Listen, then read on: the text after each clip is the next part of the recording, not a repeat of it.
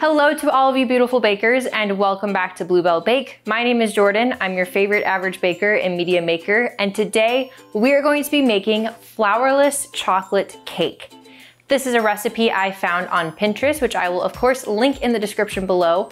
And if you couldn't tell by the title, it's gluten-free, but I'm sure there are some other ways that you can make this gluten-free and vegan as well. However, I'm not doing any of that. So with all of that being said, here's everything you need to make this recipe. Half a cup of unsweetened cocoa, 3 quarters cup of sugar, half a teaspoon of salt, 1 teaspoon of vanilla extract, 2 egg whites, 3 whole eggs, 6 ounces of dark chocolate that's been chopped, and last but not least, you are going to need 8 tablespoons of butter that is also chopped. Now that you have all of your ingredients gathered, it's time to start baking and we're going to start by melting our chocolate and our butter together. So the way that I'm going to melt my chocolate is I'm actually just gonna use a microwave, but you can also use a double broiler if you want to, but we're all about hacks and stuff, so microwave it is. So all I'm gonna do is I'm gonna take my butter and I'm gonna plop it right into the bowl with my chocolate. And then I'm going to microwave this um, on high for about 30 second intervals each, stirring in between just to make sure that we don't burn the chocolate. So we wanted to melt our butter and chocolate first. That way it has time to cool because we're gonna set this aside and now work on the egg whites. So now what we're going to do is we are going to take our two egg whites and add it to a um, stand mixer or again, hand mixer. If you're using a stand mixer, make sure it's with the whisk attachment. And we're going to whisk this at medium speed until soft peaks form. So now that you have your soft peaks, we're going to add about half of the sugar and half of the cocoa powder to this mixture and again, whisk on medium speed until glossy peaks form.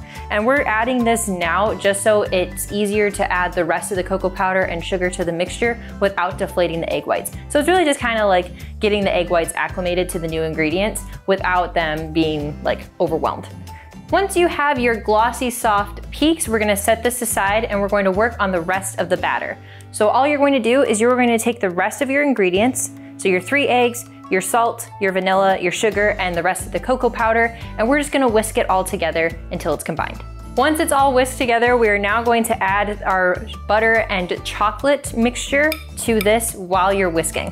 After you've added your butter and chocolate and whisked that together, we are now going to add our cocoa, sugar, egg white mixture to this and we're going to fold it in.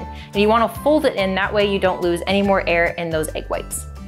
Now that all of our ingredients are combined, it's time to bake. So I'm going to be adding it to an eight inch springform pan. You can also use a cake pan. Just make sure that it's nice and greased and you're going to bake it at 350 degrees for 25 to 30 minutes. If you're using a nine inch pan, I would suggest doing 25 minutes or 20 to 25, checking after 20. But if you're using an eight inch pan like I am, we're gonna start at 20, check after that, but it could go all the way up to 30. Our cake just came out of the oven and it looks really good and smells really good. Another thing that you can do to elevate this a little bit more is actually make a chocolate ganache, which if you wanna see how to make one, then head over to our TikTok or Instagram, that's at bluebell.bake. And until the next time, don't forget to like this video, comment if you made this recipe, let me know how it went, and also don't forget to hit the subscribe button and click that notification bell so you always know when I'm posting. And until next time, keep on baking.